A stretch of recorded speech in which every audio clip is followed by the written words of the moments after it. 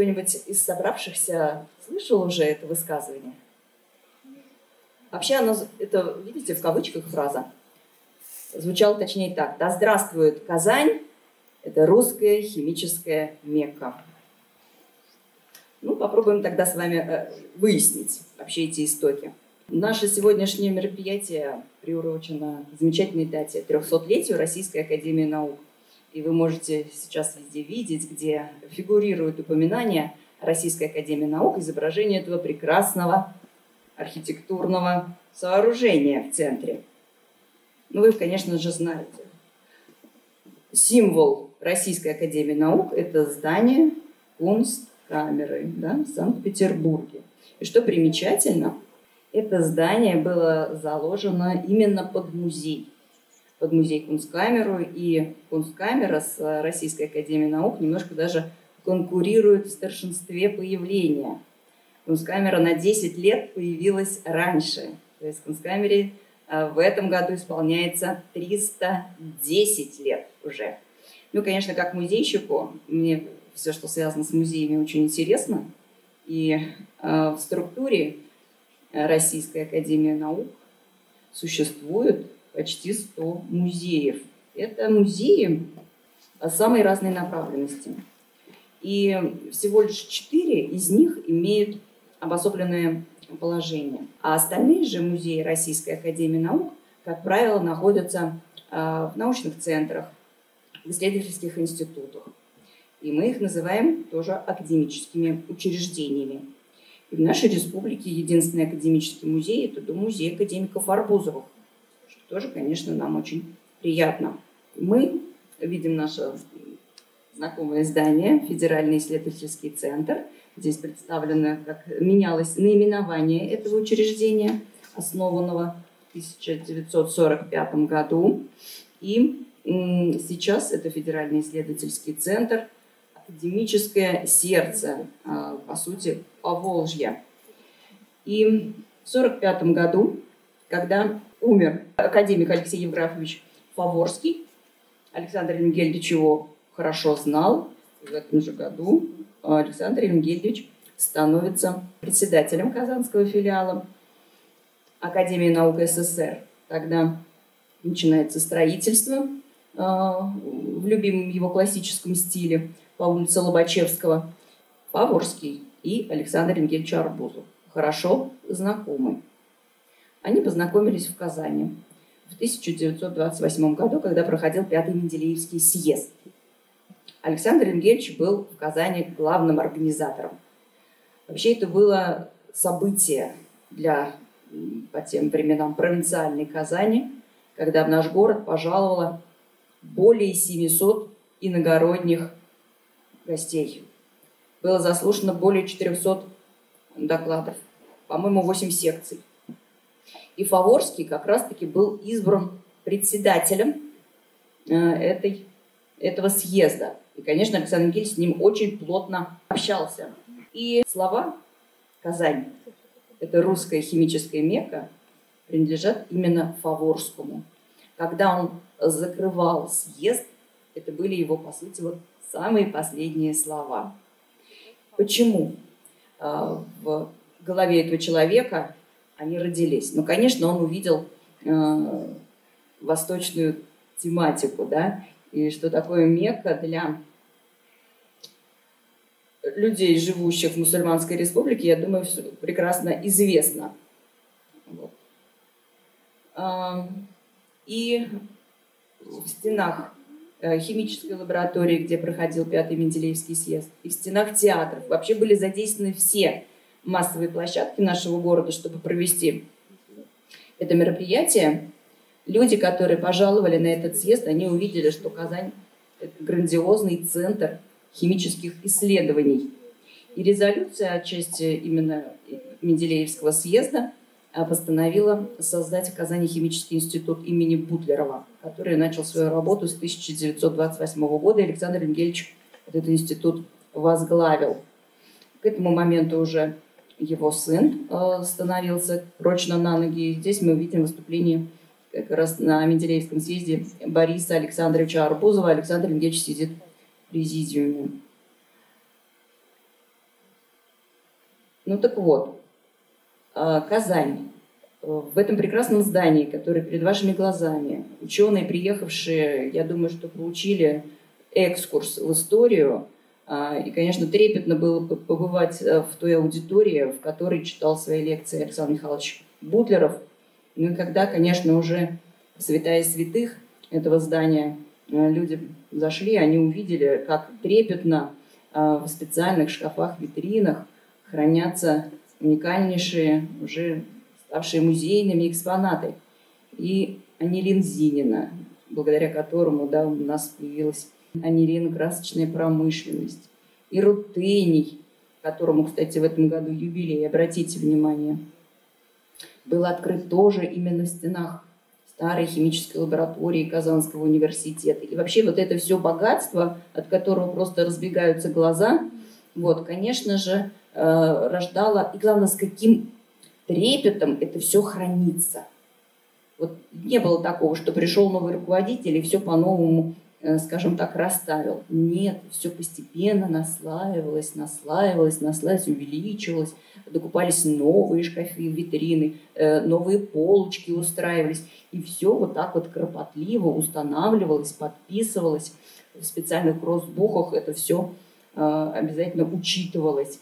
И, конечно, после всего этого прекрасного, что было увидено, Александр Енгельевич обязательно рассказывал о том, как он в годы Первой мировой войны в Казани, потому что героически э, запускал фенолсалициловый завод, который начал выпускать первый российский дженерик ацетилсалициловой кислоты.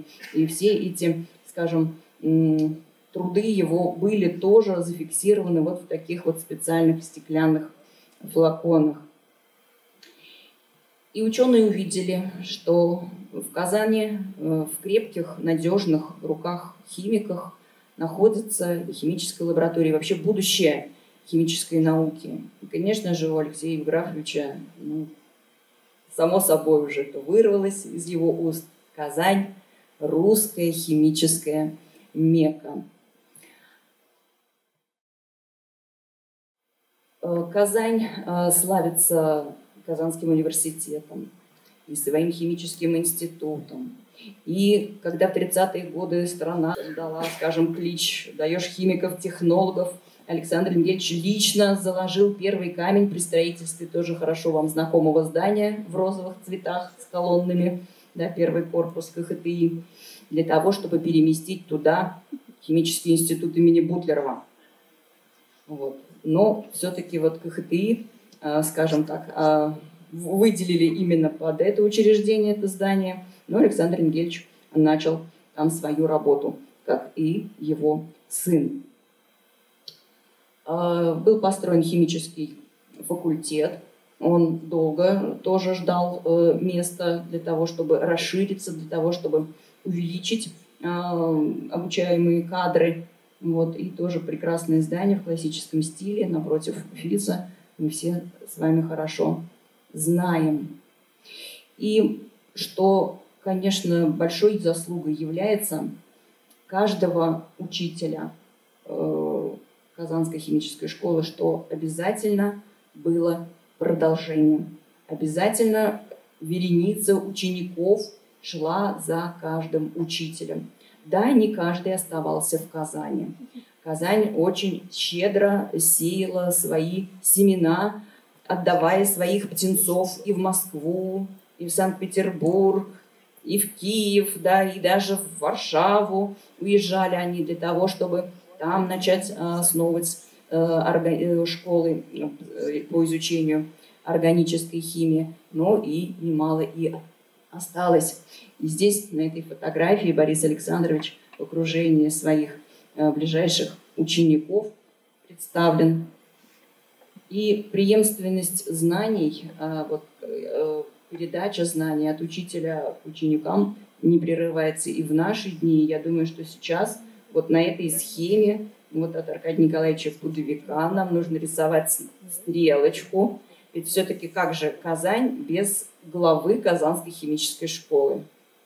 Олег Герольевич сегодня раскрыл как раз вот эту вот стрелочку для меня, когда он сказал, что я считаю себя учеником Александра Николаевича Будовика. двигаемся дальше. И когда люди бережно хранят свое прошлое, как мы знаем, будущее светлое обеспечено.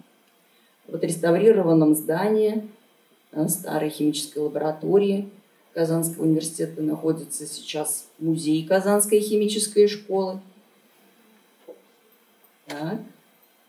Но нам всегда, конечно, очень не хватает каких-то слов, э, похвал извне. Э, не каждый обладает э, навыком сам себя хвалить. Некоторые даже и не доверяют мнению своих ближайших людей из окружения. Обязательно нужно, чтобы похвалил какой-нибудь иностранец. Ну вот и на этот счет у нас тоже есть для желающих услышать такой отзыв – Вообще для меня самой тоже было ну, очень приятным общение с Дэвидом Льюисом, который изображен на данной фотографии.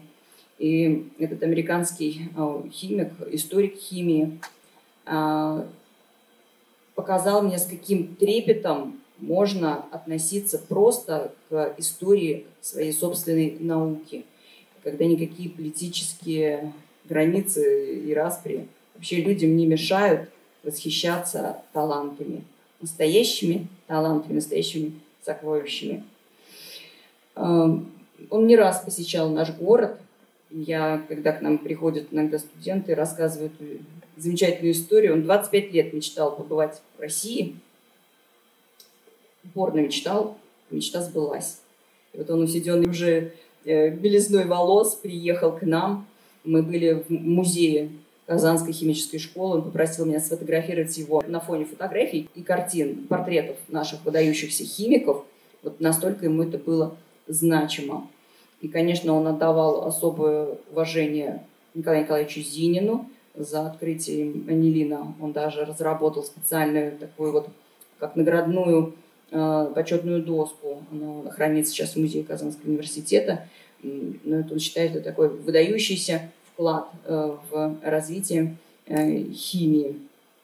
И такой же доски от Льюиса удостоился Санкт-Петербургский университет и Дмитрий Иванович Менделеев на доске для петербургцев тоже был Дэвидом Льюисом отмечен, отмечен. То есть к этой личности американский, э, как-то вообще американцы очень положительно, да, так вот смотрят на российскую химию вот, в отличие от европейцев. Академическая жизнь в Казани развивалась очень стремительно в послевоенное время, именно в связи с созданием Казанского филиала Академии наук. Заработал химический институт. Несколько позже заработал институт органической химии. Вот. Потом эти два института объединились в институт органической и физической химии которые вот несут э, тоже такое гордое звание академического учреждения Казани. Существует единственный академический музей нашей республики. Он основан 28 марта 1969 года. И как вот я сегодня вспомнила, благодаря Олегу Георгиевичу, что у нас юбилей у фосфора 355 лет, а музею нашему, оказывается, тоже вот 55 лет в этом году. Будем думать, как э, отметить это мероприятие. Вот. Музей уникален не только тем, что он академический, но и тем, что он единственный в России музей, посвященный сразу двум выдающимся химикам. Ну, а музейщики наш музей считают эталоном мемориального музея вообще в нашей республике, поскольку все здесь настолько доподлинно сохранилось. Богатый архив – библиотека, личные вещи, включая даже мелочевку, которая лежит в письменном столе Александра Евгеньевича. Благодарю вас за внимание.